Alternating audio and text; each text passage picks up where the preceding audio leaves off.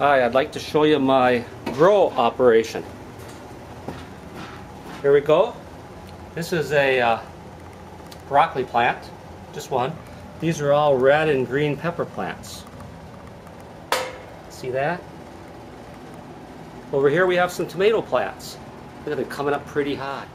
Let move this out of the way. I use this uh, aluminum foil as a reflector. Here's a 150 watt equivalent. It's like a 42 or 43, I think it's a 42 watt um, compact fluorescent bulb. Right here you can see a nice uh, pepper. I got one in here that's a monster if I can find it. Look at that, look at this pepper here. Right there, pepper. I got a nice one over here, I got another one here. I got some tomatoes, just a few tomatoes, not a lot. Here's one right here, tomato. So we'll see it, I got more. We'll see how they grow. What I have total is um, five lights. I have three 20, three, 3 watt compact fluorescents, 100 watt equivalents. Those are the they're the most efficient. They're the only ones you need. I have them in soft white. I've got the one 150 watt soft white compact fluorescent. Over here I have daylight, a 60 watt daylight, because nothing else would fit in that little reflector.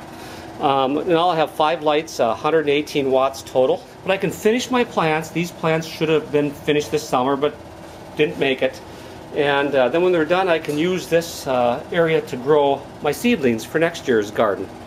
And I didn't think it was going to work. I was, I wanted to have a mainly the soft, soft uh, white because uh, that'll cover the whole spectrum of color.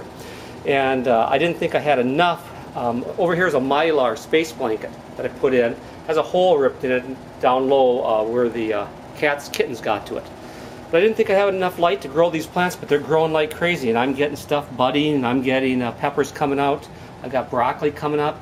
So um, I think it's going to work out. They've been down here for three weeks now, and uh, a little over three weeks, and everything's nice and green and looking great. So we'll just have to see how, how it works out. So this is my grow. I see here where I take aluminum foil and set it over to increase brightness. Over here is another thing here, aluminum foil, and there's a 100 watt bulb on the other side of that. So right down here I have a trouble light, little trouble light. It's got a little reflector on the back of it. But uh, you got to keep the lights close as you can get them. I can't get them as close as I want them, but it doesn't seem to matter. These plants are really growing. Have good fertilized soil.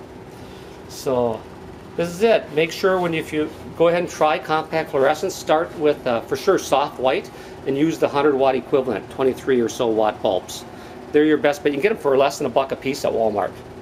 And uh, they don't cost much. Um, just don't have kittens around that can keep tearing down your uh, mylar. Signing off, Mr. Otterdude.